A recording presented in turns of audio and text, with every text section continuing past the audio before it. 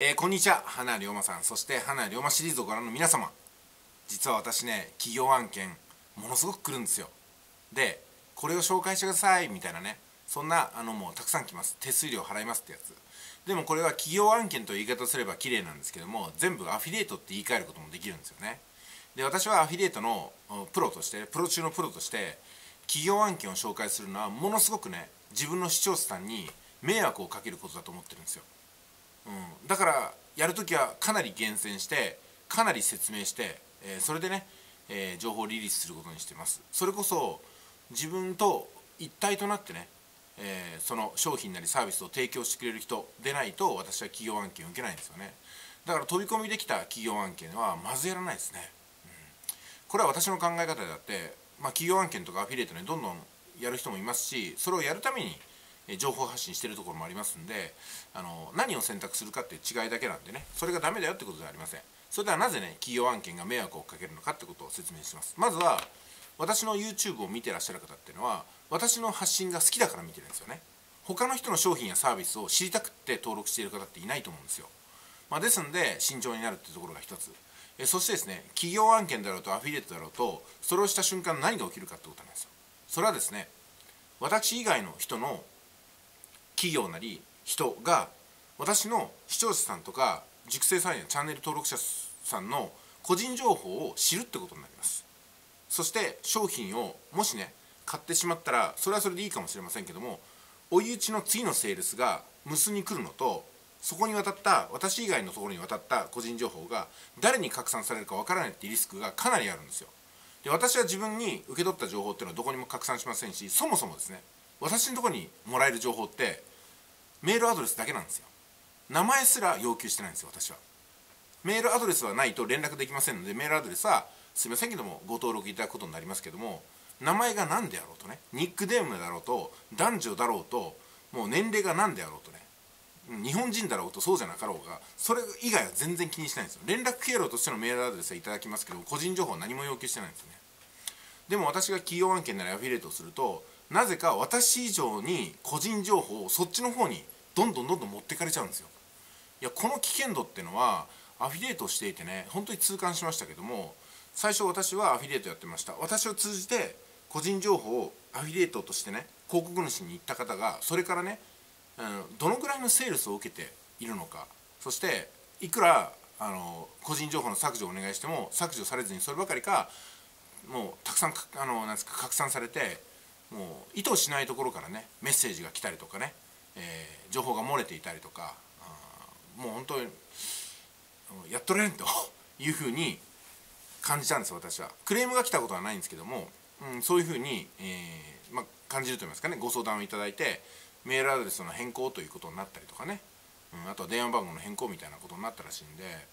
うん、それが迷惑を感じてるかどうかはまたね別なんですよ。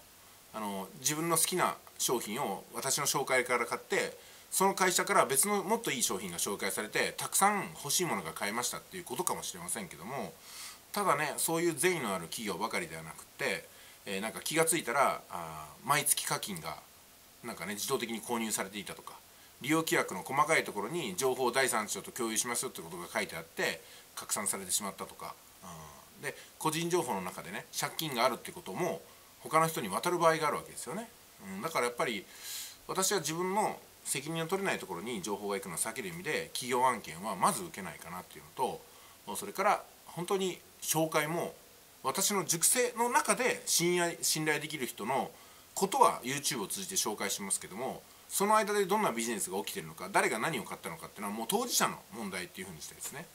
私がそのなんですかね紹介料をもらうみたいな仕組みは全く入れてないんですよ。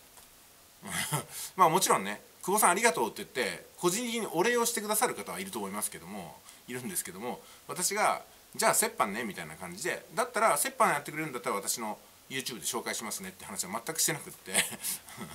で企業案件についてはね私ねすごく慎重なんですよそういう意味でねアフィリエイトを突き詰めたからこそあの慎重にならないとなっていうところでねやってるんですよね。はい、ということが前半です。で後半のお話になりますけども花屋龍馬さんが言われたようにビジネスの中心にはまずね情報発信がないと話にならないんですよ。ビジネスをしているのに情報発信がおろそかだったり全くやってないっていうことになると自分の商品やサービスとかそもそも自分のことをね誰に知らせてるんですかって話になるんですよそれこそリアルで近所の方に訪問販売するみたいなことになっちゃうんですよねでも私たちはインターネットを通じて商売するわけですからやっぱりね、えー、インターネットのログの中にログっていう足跡の中に自分のこととか自分のサービスや商品のことをたくさんたくさん残していかないとそもそも知られないですし信用されないですよね、まあ、ですので私は顔出しがいいと思いますし名前もできれば本名がいいと思いますしね、えー、自分のことを包み隠さずにどれだけ露出できるかっていうところが唯一の私たちの資産なんじゃないかなと思うんですよ。ということでね、えー、前半とはちょっと逆のことを言いました。私は情報発信者として自分の情報は発信する。うん、なるべく発信した方がいいんじゃないかなと思います。けどもでも自分が扱った情報は絶対に、えー、漏らさない発信しないっていう形でねとどめたいと思うんですよ。ですので私ね熟成さんの実績すら言いにくいんですよ。もちろんね私の実績をみんなに広めてくださいっていう人に対してはあの匿名とかでやりますけどもねそういうのはたまにやりますけども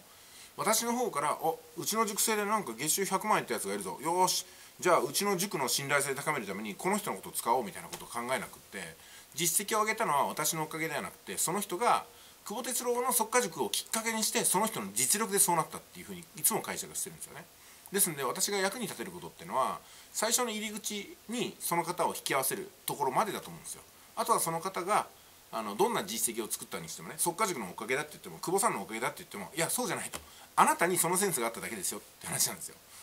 あなたにそのセンスがあってしかも地道に凡事でって繰り返してあなたの裁量じゃないですかと。私は凡事徹底を強要もしてないし絶対に稼げと強要もしてないと。ただ求められるまんまに、えー、回答をずっとね動画で送ってきただけですよと。その私の回答も拒否するのか受け入れるのかもあなたの力量でしょ？っていうことなんですよ。だから私が何かをやったってことは全くないんですよ。全てはうまくいったらうまくいった人の実力。うまくいかなくなったら私の力量不足というふうに解釈していますね。それが私の自己否定論でございます、えー、ということでねえ、私の場合は極力 誰のことも発信しないというふうにしてますし、えー、求められればやるんですけども、うん、なかなかね自分はこんなに儲かったんで久保さん人にこれを拡散してくださいっていう人はあんまりいなくって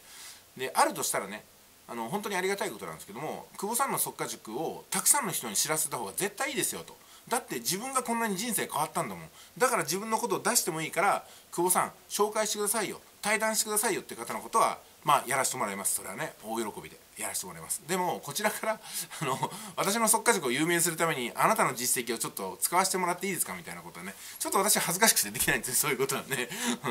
ん、まあそんな感じですかね。はい、えー、いろいろと話しましたけども私はねどっちかっていうとビジネスマンとしては損なスタイルなのかもしれません。あの吉谷さんとはね全く逆でね 熟成さんの実績報告ってあんまりしないんですよね求められない限り、えー、ということなんで、えー、いろんなスタイルがあっていろんな稼ぎ方があって自分がどれが好きかなっていうところに落ち着ければ落ち着いたでいいんではないかなというところでございます。そういう意味ではね誰かがそれをやったからあいつはずるいとかそんなことするべきではないのにっていうふうに型に私の方ははめないはめたりしないかなと思います、うん、皆さんねそれぞれのやり方がありそのやり方を支持してくれる方がいるから商品が売れてると思いますんでね、うん、まあいろいろとあって十人十色じゃないかなと思いますよね。まあ唯一正直にやりたいなって気持ちはありますけどもね。正直といえば安倍総理ってむちゃくちゃ嘘つきが 最近バレて国会招致されるかもしれないというね一国の総理大臣が何年も嘘をついてしかもそれを野党に追及されてもとぼけまくってしかも最後はね刑事事件になってそれでもね自己正当化してるってのはこれはすごいなと思いますよね。嘘政権安倍 安倍晋三かなと思いますけども菅さんはそれに比べたらねなんかすごい誠実なような気がします。ただ誠実なんだけどもうんなんかね周りの閣僚に邪魔されて菅落としのために菅さんがまるでね仕事ができない人みたいな演出を食らってんじゃないかなみたいなねことを考えたりしております。まあ考えてるだけですけどね。私に見えてるところはたった一部なんでうん勘違いかもしれませんけどもね。はいでは本日は以上です、いってらっしゃい。